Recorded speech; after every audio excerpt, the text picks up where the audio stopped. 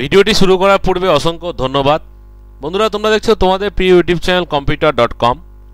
তা বন্ধুরা, একটি খুবই গুরুত্বপূর্ণ ইম্পর্টেন্ট খবর তোমাদের সাথে আমি আজকে শেয়ার করব, যে যারা প্রাইমারি টেটে দু হাজার সতেরোতে পাস করেছে, তাদের কিন্তু সবারই চাকরি পাওয়ার কিন্তু সম্ভাবনা অনেকটাই কিন্তু সঠিক। অর্থাৎ শূন্য পদ যা আছে, তার থেকে কিন্তু প্রায় একই সংখ্যক ছেলে ও মেয়ে কিন্তু পাস করেছে। তা বন্ধুরা, ওই নিয়ে আজকে ভিডিও পুরো ভিডিওটি তোমরা অবশ্যই দেখো। ভিডিওটি পুরো দেখলে তোমরা বুঝতে পারবে। অবশ্যই আমাদের চ্যানেলটি লাইক কমেন্ট শেয়ার করতে যেন ভুলো না। কারণ তোমাদের এই লাইক কমেন্ট শেয়ারই আমাদের ভিডিও আরও নতুন উৎপন্ন খবর তোমাদের কাছে পরিবেশন করতে আরও বাধ্য করে। তা বন্ধুরা, অবশেষে রাজ্যে দীর্ঘ প্রতীক্ষার পর কিন্তু প্রাইমারি স্টেট দু হাজার রেজাল্ট প্রকাশিত হয়েছে। রেজাল্ট প্রকাশের পেলেও নানা বিষয় নিয়ে এখন জল্পনার তুঙ্গে। প্রাইমারি টেট দু হাজার সতেরোর রেজাল্ট প্রকাশের পর নিয়োগের শূন্যপদ ভ্যাকেন্সি নিয়ে এখন প্রশ্ন উঠছে। কত হতে পারে শূন্যপদ? এই নিয়ে যদি প্রাথমিক পর্ষদ থেকে কিছু সরাসরি পরিষ্কারভাবে বলা হয়নি যতটুকু বোঝা যাচ্ছে প্রাইমারি টেট দু হাজার সতেরোতে বিপুল সংখ্যক শূন্যপদ কিন্তু নিয়োগ করা হবে। তা বন্ধুরা, তোমরা জানোই যে প্রায় দু লক্ষ পঁয়তাল্লিশ হাজার তিনশো চুয়াল্লিশ জন চাকরি চরিত্রী প্রার্থী কিন্তু তারা পরীক্ষা দিয়েছিল। পরীক্ষার ফর্ম ফিল আপ করেছিল ফর্ম ফিল আপে উত্তীর্ণ পরীক্ষা দিয়েছিল এক লক্ষ উননব্বই হাজার আটশো চোদ্দ জন। এবং পরীক্ষায় কিন্তু মাত্র পাঁচ শতাংশ কিন্তু পাস করেছে একশোটাই পাঁচ জন। ন হাজার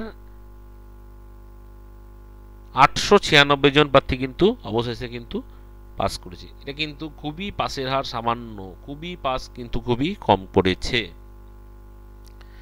এবং প্রাথমিক পর্ষদ তথা ডাব্লিউবিবিপিএ সভাপতির বক্তব্য যে এই দু হাজার টেট সতেরোর ফল প্রকাশ আনুষ্ঠানিকভাবে হয়েছে, মানিক ভট্টাচার্যবাবু করেছেন। এবং তিনি বলেছেন যে ফল প্রকাশের সঙ্গে নিয়োগের কোনো সম্পর্ক আদৌ নেই।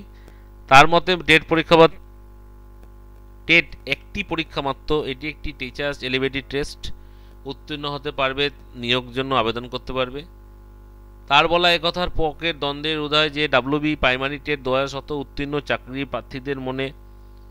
তিনি এও বলেন যে টেটের নিয়োগ পর্ষদের কোনো বিশেষ ভূমিকা থাকে না। কতজন পাস করেছেন তার ভিত্তিতে দু হাজার সতেরোর প্রাইমারি টেটে কত শূন্যপদ নিয়োগ হবে এই সম্বন্ধে আরও নানান বিষয়ে সিদ্ধান্ত নেন শিক্ষা দপ্তর তথা প্রাথমিক পশ্চিমবঙ্গ সরকার।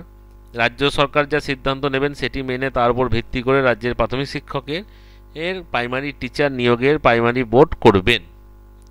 এছাড়া তিনি আরও বলেছেন যে ভ্যাকেন্সি তথা শূন্যপদ কী, এটা নিয়ে একটি গুরুত্বপূর্ণ প্রশ্ন তাদের কাছে করা হয়েছিল যে প্রাইমারি টেট দু হাজার সতেরোর ভ্যাকেন্সি তথা শূন্যপদ কী? দু হাজার সতেরোর প্রাইমারি টেটের শূন্যপদ সম্পর্কে সরকার কিছু না বললেও বিশেষজ্ঞদের মধ্যে প্রচুর শূন্যপদের শিক্ষক নিয়োগ করার প্রবল সম্ভাবনা কিন্তু রয়েছে। অর্থাৎ শূন্যপদ স্বাভাবিকভাবে অনেকটাই বেশি হবে। শিক্ষা দপ্তর দেওয়া বিশেষ হিসাবে অনুযায়ী রাজ্য জুড়ে প্রায় পনেরো হাজার প্রাথমিক বিদ্যালয়ে শিক্ষকের ঘাটতি রয়েছে। এবং তাদের দেয়া বিশেষ হিসাবে রাজ্যের এমন প্রাথমিক শিক্ষক ও শিক্ষাপ্রার্থীদের অনুপাত একদম ঠিক নেই। অর্থাৎ শিক্ষার্থীর তুলনায় শিক্ষক অনেকটাই কম। যদি পনেরো হাজার প্রাথমিক বিদ্যালয়ে শিক্ষকের ঘাটতি থাকে, তবে শূন্যপদ পনেরো হাজার থেকে বেশি হতে চলেছে। এই নিয়ে সন্দেহের কোনো অবকাশ থাকে না। অন্যদিকে এবার দু হাজার সতেরোর প্রাইমারি টেটে দশ হাজার পরীক্ষার্থীতেও পাস করতে পারেনি। সেদিকে দাঁড়িয়ে তাকিয়ে দেখলে দেখা যায় যে প্রাইমারি টেট দু হাজার সতেরো যারা উন্নীত মানে অর্থাৎ উত্তীর্ণ হয়েছে, তাদের কিন্তু প্রত্যেকেরই কিন্তু চাকরি পাওয়ার কথা। অবশ্যই তোমরা বুঝতে পারছ বন্ধুরা যে পাস করেছে মাত্র ন হাজার আটশো ছিয়ানব্বই জনের মতন পাস করেছে। তা যা অবস্থা এখন এই মুহূর্তে প্রাথমিক শিক্ষাকে তাতে পনেরো হাজার ঘাটতি আছে।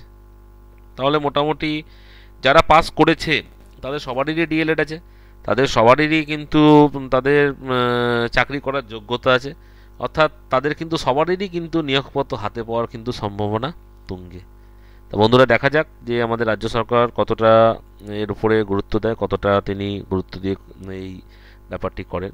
বন্ধুরা, অবশ্যই ভিডিওটি লাইক, কমেন্ট, শেয়ার করতে ভুলবেন না। আবার নতুন তথ্য এলেই তোমাদের কাছে আমি জানাব, এটি তোমাদের কাছে বলে গেলাম।